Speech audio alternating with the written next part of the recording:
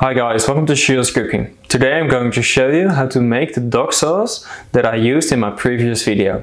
So, let's begin. Start by putting 4 duck carcasses on an oven tray. Now roast them in an oven of 200 degrees Celsius for 35 minutes. Once roasted, transfer them into a big saucepan. Then deglaze the tray with half a liter of white wine.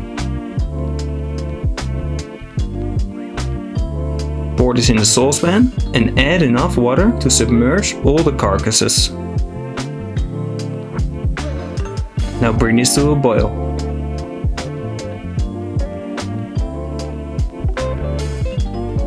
Meanwhile, clean two onions and then chop them.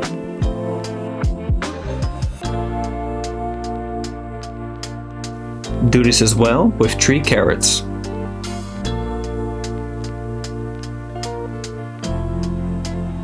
Also with 1 celeriac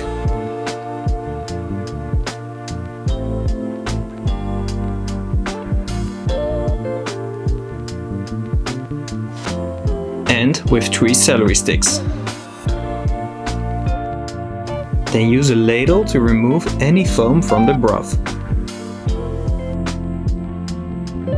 After that, add the cut vegetables together with 8 grams of coriander seeds and 8 leaves of bay leaf. Let this simmer for at least 8 hours. After that, drain the broth and let this sit for at least half an hour so you don't waste a single drop.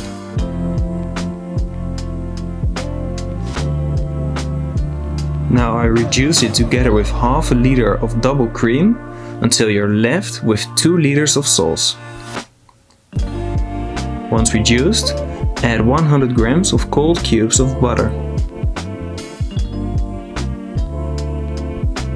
Then put it through a sieve and season it with a touch of salt.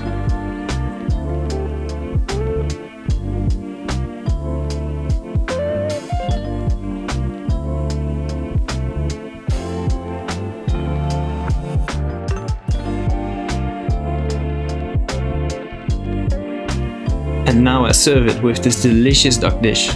I'll put a link in the description if you want to know how to make it for yourself. Okay guys, that's it for today. I hope you've enjoyed the video. So don't forget to like and share it and subscribe if you want to see more. Bon appetit!